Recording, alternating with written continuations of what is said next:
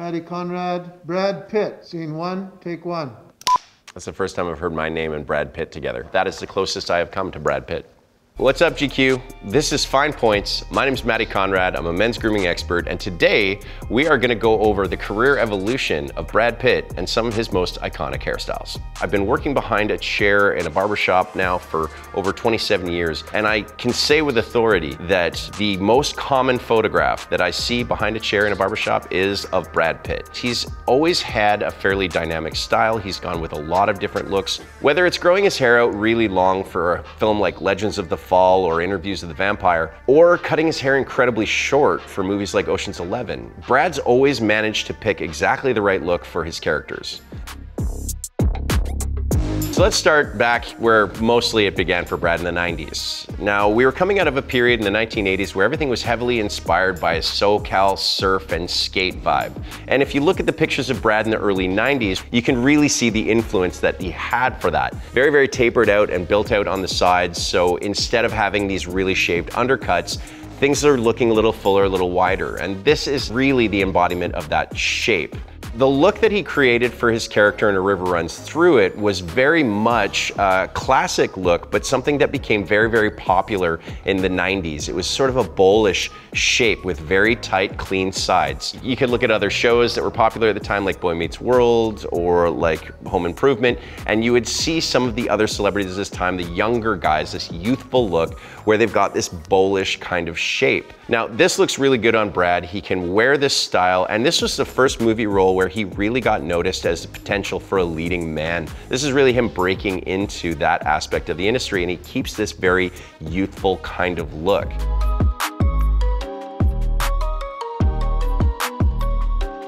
As that leading man persona starts to take hold for Brad, and as we move a little further into the 90s, the influence of grunge music starts to take off. And you can see into the 90s as he kind of starts to grow out a beard for the first time, his hair gets a little longer, has a little bit more of that Kurt Cobain influence when he's starting to do the tuck back and just the longer mop of hair. The role that he was growing his hair out for was the movie Kalifornia, where he plays a little bit more of a darker side. So being able to embrace that with his look, I think he leaned into more of that kind of grunge feeling to his hair. Now, post the movie Kalifornia, Brad continued to grow his hair out, and the longer hair was something that became synonymous with his look, especially when he aced movies like Legends of the Fall. Legends of the Fall, he played a very iconic character named Tristan, who has become kind of redefined as that long haired, romantic leading man. He gave it a very pretty, attractive look instead of having to make it look like somebody that had given up on their looks. Continuing with the long hair, he then produces an excellent performance as essentially a 500-year-old immortal French vampire in Interview with the Vampire. This is another way in which he is able to use his look and use the length of his hair to help embody that role. It's a very transformative thing for a lot of actors. And even still outside of the scope of acting and offset, they still have a tendency to embody those vibes. And you can see into the mid 90s, Brad had a little bit more of that kind of undead look. You know, he had that longer hair and he went in and bleached it out, changed out the color of it, and still really embraced that kind of grunge feel. You can see Brad is also embracing kind of that loose baggy sweater look and so is very, very on point and was something that was talked about a lot in magazines. You would see him at a lot of different events with this and people were just going crazy for it. Then came a big transformation. Now we're in 1995, and Brad is booked in the movie Seven, a role for which he completely changed his look by cutting his hair very, very short. At that point, this kind of rough and textured look called bedhead became very mainstream. It was heavily influenced by punk from the 1970s and early 1980s, and it was sought as kind of a slightly more aggressive look. A lot of guys would come in with this picture from the movie. It really kicked off the idea of these kind of bleached out or frosted tips that a lot of guys were asking for with this really rough texture. Now, let's just take a pause here for a second because I think something needs to be brought up. Along his career, it's not totally uncommon for Brad Pitt to adopt a shockingly similar style to whoever he's dating. Let's look into 1997 where he started dating Gwyneth Paltrow. Her very iconic hairstyle looked very similar to his when he was dating Jennifer Aniston and she had those weird twisty dread things. Even when uh, the Rachel haircut for Jennifer Aniston became completely iconic, his was not trailing too far behind. In the late 90s came possibly one of his most iconic looks. Now, Fight Club was an exaggeration of the shorter style that he was wearing before, that idea of bedhead and that influence of punk. But instead of keeping things short and contained, they were let a little bit loose. And this really suited his Tyler Durden character. This style was particularly popular with a lot of younger guys that would come and wanted that little rougher, that little more lived in kind of style. This is at the point too where men's hairstyling products started to diversify so that they could create these really specific types of textures. You weren't just using mousse and gel anymore. Suddenly there was pastes and putties and pomades and all these different products because of the specificity of how rough and how interesting these styles looked.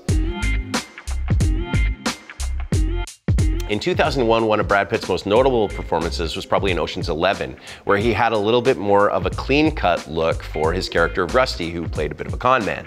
This look for him really, really suits, uh, especially the short kind of blonde frosted out tips.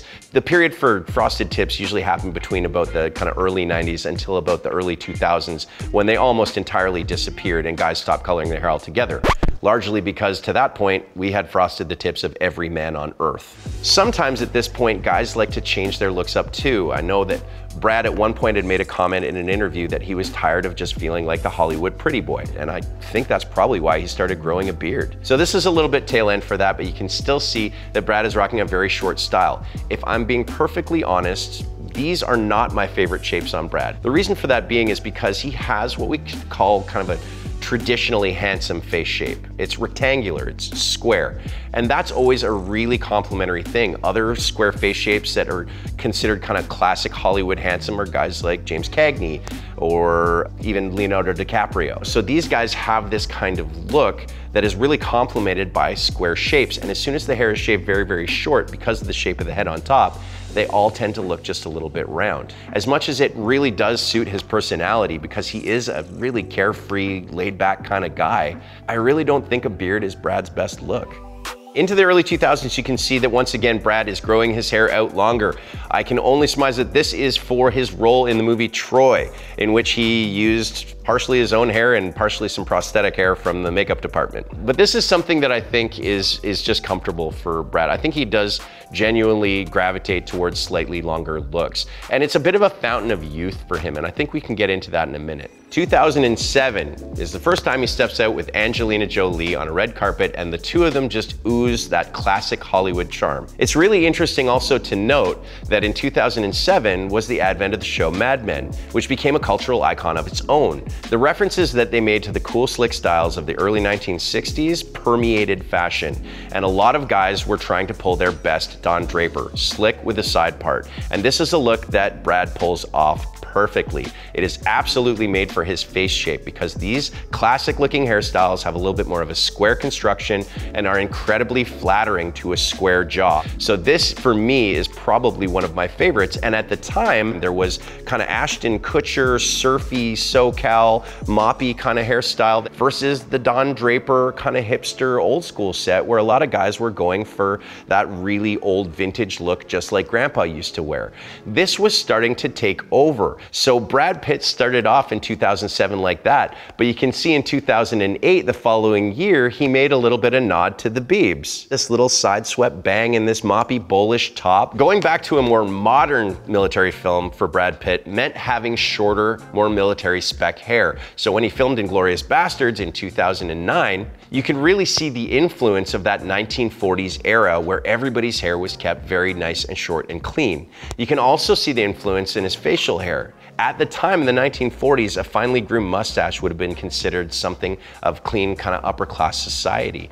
But wearing it past filming was a bold choice because most people didn't consider mustaches in fashion at that point, something that has changed in just the last few years where mustaches have now become very cool. Even to this day, I still see people coming in with pictures of Brad Pitt from this role as their mustache influence. I think the thing I like about this look is that it still goes back to that old Hollywood vibe. It is very dapper leading man, and it's really complementary to his face shape and his general persona. The 1950s was all about rock and roll. Guys like Elvis Presley, Johnny Cash, Jerry Lee Lewis, they all started growing their hair out longer into a style called the pompadour, which is what Brad has in this photo. I think it's fascinating that coming out of a World War II movie, Brad followed the exact same path as a lot of the ex-GIs did coming out of World War II, where they're growing their hair longer and into a more rock and roll savvy style.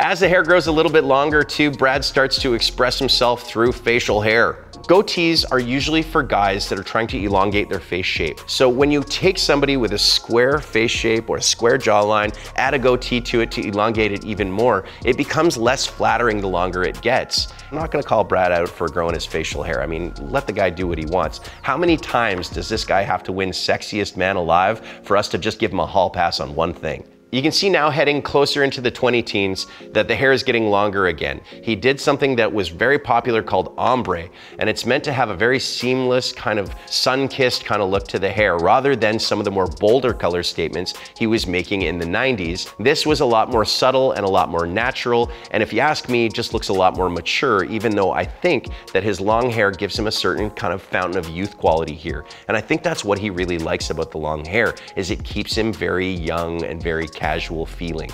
Once again, after a period of growing out a little bit of comfort, Brad changes his hair drastically for a role as a tank commander in the movie Fury. This took what was already a simmering style trend of these old school classic haircuts and it poured gasoline on it. As soon as everybody saw this movie or even just saw the movie poster, guys were flooding into barbershops asking for this hairstyle. It probably helped that also similar to his style as seen in the show Peaky Blinders. And so when it comes to a movie role like this for Brad Pitt, being able to commit to that authenticity of those looks was really great because even though it inspired all of these beautiful fades and really clean, classic, backward flowing haircuts, the haircut itself looked like it had been done with a pair of hand clippers in the back of a tank in World War II. He just went with what was authentic, and I really admire that about it. It was absolutely a huge, huge fashion trend, and Fury is probably gonna go down as one of his most iconic roles. In 2019, the film Once Upon a Time in Hollywood was a story of the golden age of Hollywood in 1969. So of course, Brad got to grow his hair back out for a very fitting role as a stuntman in that film, and it was absolutely perfectly on point. This is, in fact, transitioning away from that Mad Men era into more of that 70s grown out kind of longer shapes that a lot of guys were wearing. So he really, again, hit a completely authentic look with this one, but I think it also came a little bit more in line with how he feels most comfortable. This guy just can't lose. He looks amazing with long hair, he looks amazing with short hair, and as soon as you put him in a tuxedo on a runway or somewhere in a red carpet for an award show, everybody's just flooding in asking for these shapes. What I really like about him though is he's his own man. He's always doing his own thing. Even with those slight dalliances and those tiny little like influences from like Don Draper or even Justin Bieber, you know, you, you still get to see Brad through it all. His personality really shines through all those looks and his, there is a bit of a consistency to his vibe, even though the hairstyles are drastically different there just is a comfort to it, you know? And to me, that's a guy that looks entirely comfortable in his own skin. Well, if you made it this far in the video, you clearly like Brad Pitt as much as I do. But if there's anyone else that you think we should take a deep dive into, write them in the comments below. Maybe I'll have a look.